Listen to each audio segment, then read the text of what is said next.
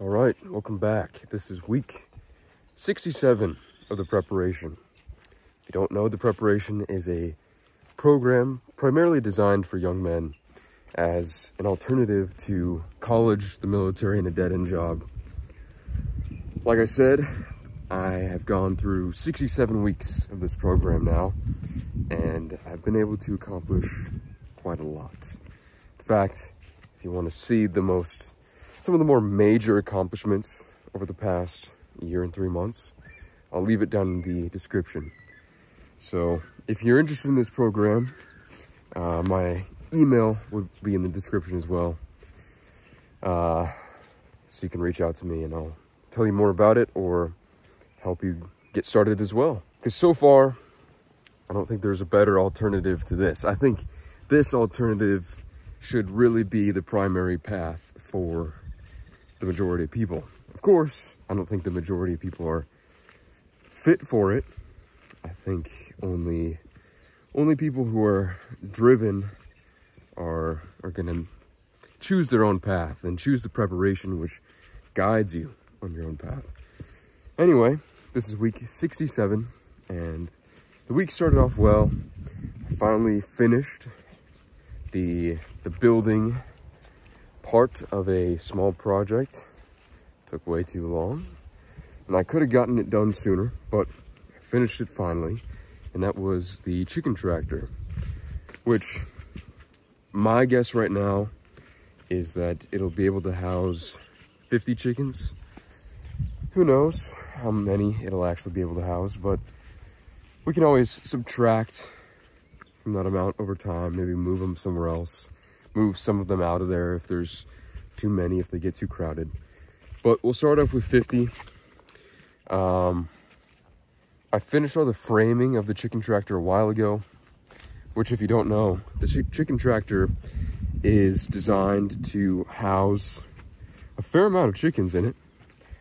You put it on a field, the chickens eat the grass, they also eat a little bit of grain, but they also fertilize the land at the same time.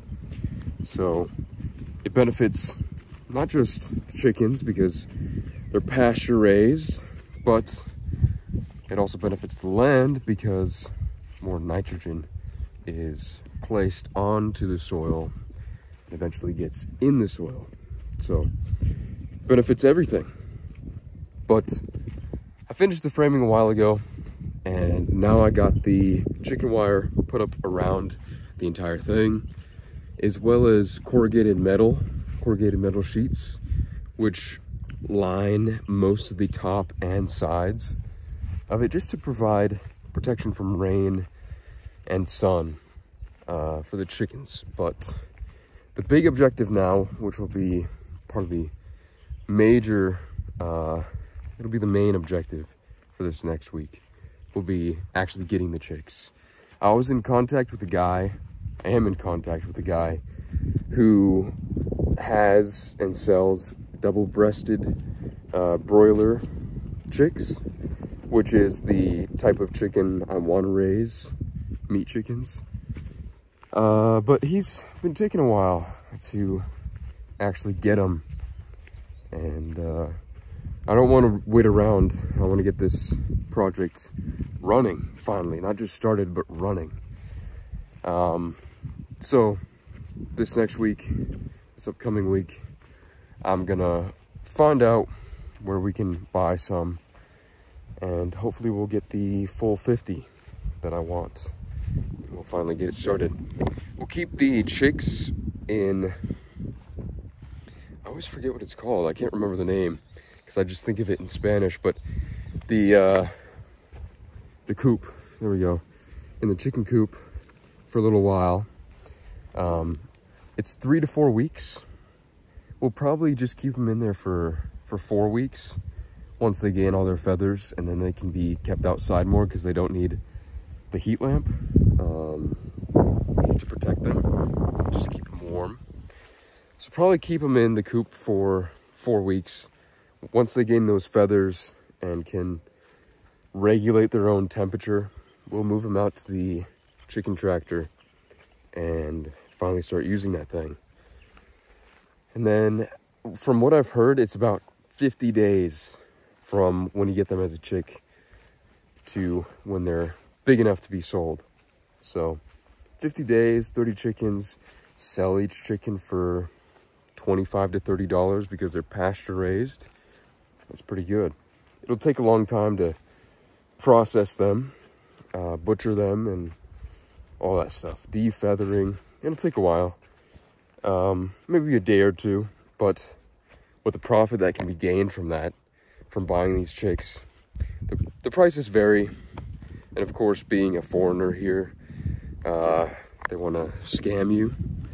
But I've heard prices ranging from 60 pesos, 60 Uruguayan pesos, which is maybe a dollar 20 uh, in American dollars, to maybe a dollar 10, 15, to about 80, 81 Uruguayan pesos, which is more expensive. But, you know, that's the sort of thing that they're just chicks.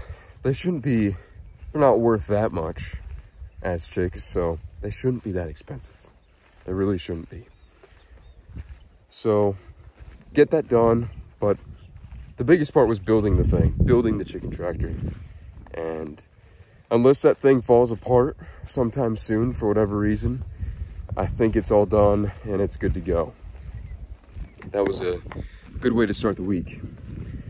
Another big thing that started just recently now that we're in spring and going into summer. Uh, we have a lot more work with the cows. Um, and we started doing artificial inseminations this week.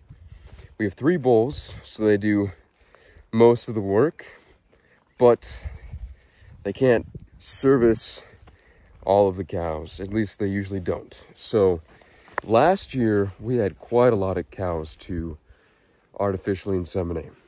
We spent the majority of a day uh, bring all the cows to the corral and artificially inseminating them. Took took a long time. Um, even with seven people, it took a long time. But this year, we, at least so far, we only had to artificially inseminate 60 cows, or about 60 cows. And with, how many people was there? Four people this time. We got through 60 cows within an hour, just an hour. Um, and that doesn't really count the, the, amount of time that it took to to uh, bring them into the corral. But there's cattle dogs here, so it doesn't take that much time at all. And it's actually a very easy process. So getting that done in an hour is, is pretty good. From 6.30 a.m. to 7.30 a.m., not bad at all. And it reminded me of doing this last year when I was studying economics, basic economics. It reminded me of the principle, the economic principle of the division of labor. That when you have a group of people who have their own roles and they specialize in that role, they can have uh, at least a general concept or maybe a very good idea of how to do the other jobs within uh, whatever work they're doing. But they specialize in one form of work. And when this group that specializes in their particular form of work works together, they streamline the process and are much more efficient. So last year when we were doing the artificial inseminations, there were seven of us working together to get through all these cows. We each had our own jobs. And because we stuck to it, we stuck to our own job. It was so much faster and more efficient than it would be if uh, we were all running around trying to do each other's jobs, try to step in and do this thing or that thing. And that's not to say that you shouldn't take some time to learn how to do other things, other jobs, because it's good to know how to vaccinate cows. It's good to know how to treat cows. It's good to know how to just work with cows in general, but at 6.30 in the morning when everyone's tired and there's only 60 cows to go through, once you have your job and you know your job, it's easier and more pleasant for everyone if you just stick to that job and run through it fast. And that's how we were able to get through 60 in an hour. which isn't bad. And that's at a slower pace. That's not us working fast. That's at a, a relatively steady pace. So that's, that's a good amount of time. But the division of labor, I, even even this time with so much less work and fewer people, I was able to notice it. And it's uh it's that's a perfect example of why you need to study other things. Study basic economics so you understand how things work. Because otherwise, without that idea, at that basic principle, without that understanding of that basic principle, I wouldn't I wouldn't have noticed it. I wouldn't have noticed how much smoother things went because because of just that that definition, that definition, that concept and the definition of the concept. Um, it's strange how just little ideas can bring new things to light like that and can change our frame of the world in a positive way. So that was good. Along with that, what else did I do this week? Lots of mowing. Um, our primary goal here on the farm is not actually about raising the animals uh, and fattening them and uh, running our cow calf operation. The primary goal is actually increasing the quality and quantity of the soil. When we first got here about three years ago, the man running this place was working like a conventional farmer would. At least a conventional Uruguayan farmer would. A lot of the time was spent on tractors and moving cows from place to place, just big open swaths of land, moving these cows in big open areas where they're able to choose all the best grasses to eat. So you get spots of overgrazed grass and spots of undergrazed grass, and the whole place just looks like a mess. Doesn't look pretty. Um, and that is part of farming is when things look pretty, that's a good, it's a good sign. Um, it's not just about efficiency. So he'd move these things, these cows from big swath of land to big swath of land, not really caring about the quality or quantity the soil. And uh, there was lots of time spent on tractors spreading chemical fertilizer and seeds into the fields, which is also a thing conventional farmers do in the States. Because you think, well, if I throw more money into this, I'll get more out of it. But that's not actually the case. Since then, we don't use chemical fertilizer on our fields. We don't seed the fields, which reduces our cost by tens of thousands of dollars. But the fields are actually, and the quality of the soil, the quality of the grass, is all so much better. I mean, I noticed the other day while um, I was on the tractor that I wasn't having to dodge as many rock formations, which is a good sign, a very good sign, because that means that the soil is growing enough, actually growing in quantity, that it's covering those rock formations that were just barely peeking up above the ground. And uh, were things that you'd have to watch out for when mowing because when you hit those things with a mower, it sounds bad and you're damaging the mower because of it. So that was a good sign, but also the length of the grass and the stem density is what it's called. Um, how many stems are coming up from the ground uh, has increased by a lot. The height of the grass is so much higher than it used to be. It looks so much better, even though it's not that, that deep green color that we used to have when the fields were uh, chemically fertilized it it's that natural grass that is coming back. This, this the natural grass that is supposed to grow within this area that's coming back and improving everything. Uh, so that's a good sign. But yeah, lots of time was spent this week mowing the fields on the tractor. Definitely got a little bit more color and I'm burnt. Got pretty burnt this week. But uh, it's nice to be on tractors anyway. I remember a time when I didn't know how to drive a tractor. And uh, it's, it's one of those things that you can look back on when you learn a skill. It's nice to look back on a time when you didn't know it and go, huh, this thing isn't necessarily exciting to me anymore like it was when I was first learning this, but I now have this skill that I can just get on this huge piece of machine, machinery, and run it and have no problems. It's, it's just a, a pleasant feeling. It really is. So I did that. Uh, and that took up quite a bit of time. Also did the normal activities like chess, Spanish, and working out, but I I was so tired this week, this past week. I, I don't even understand why. Usually I get up, the first thing I do during the day is get up and work out at 6.30, but I just couldn't get myself up at that time this past week. It was strange how tired I was.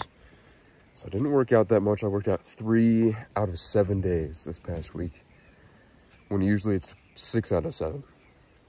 Spanish is going well. I was out in a city with my girlfriend yesterday, and so I had some opportunities to use my Spanish, even just to listen to Spanish. And I'm far from proficient in the language, but I can definitely understand a whole lot more and speak more than I used to, so that's a good sign. And chess, chess is going well.